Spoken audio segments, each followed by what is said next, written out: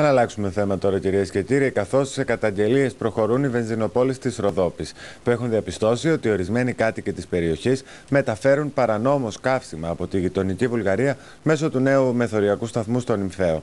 Πέρα του γεγονότος ότι η διακίνηση καυσίμων κατά αυτόν τον τρόπο συνιστά φοροδιαφυγή, είναι και ιδιαίτερα επικίνδυνη για τη δημόσια ασφάλεια. Ιδιαίτερα θορυβημένοι δηλώνουν οι πρατηριούχοι υγρών καυσίμων στο νομό Ροδόπη, καθώς καταγράφηκαν περιστατικά μεταφοράς καυσίμων από τη Βουλγαρία με πλαστικά μπιτόνια. Οι εισαγωγές έγιναν αντιληπτές από πρατηριούχους που έτυχε να δουν τα καύσιμα σε πόρτ μπαγκάζ πελατών τους και τα ανέφεραν στο σωματείο τους. Αξίζει να σημειωθεί δε ότι εκτός από βενζίνη, ορισμένοι μεταφέρουν και φιάλες υγραερίου, χωρίς φυσικά να πληρείται κανένας κανόνας ασφαλείας.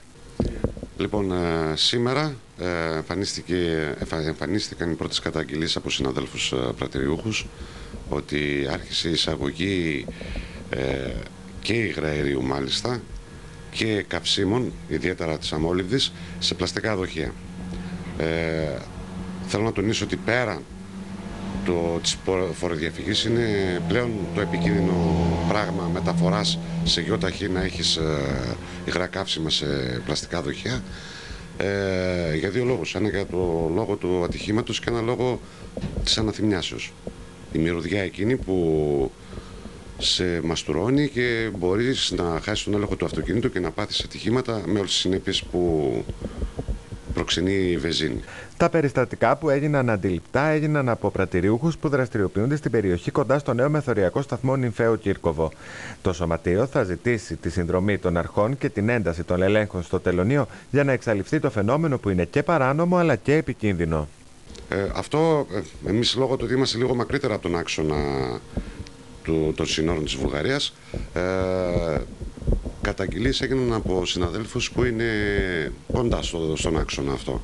Ότι έχουν δει σε πορπαγκάζ αυτοκινήτων δο, ε, δοχεία γεμάτα με αμολυβδί συγκεκριμένα και μάλιστα ένας που είναι και το, στο πρατήριο του έχει και υγραέριο, μάλιστα και φιάλες υγραέριου.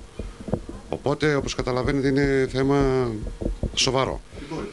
Ε, εμείς ε, τώρα αποφασίσαμε το ΔΣ να κάνουμε μια κοινοποίηση στην αστυνομική περιφέρεια να εντείνει τους ελέγχους με, με αποτέλεσμα την κατάσχεση αυτών όπου εντοπίζονται και για λόγους ε, φόρο διαφυγής και για λόγους ε, ατυχήματος.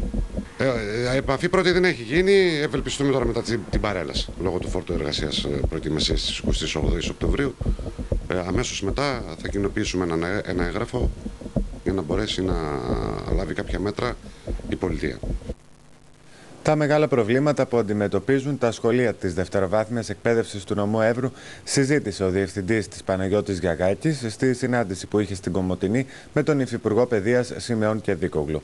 Το μεγαλύτερο πρόβλημα που βρέθηκε και στο επίκεντρο της συζήτησης ήταν οι ελλείψει σε προσωπικό, σε εκπαιδευτικό προσωπικό, γεγονός που κάνει τη, πολύ δύσκολη τη διεξαγωγή των μαθημάτων, ιδίως στα ΕΠΑΛ.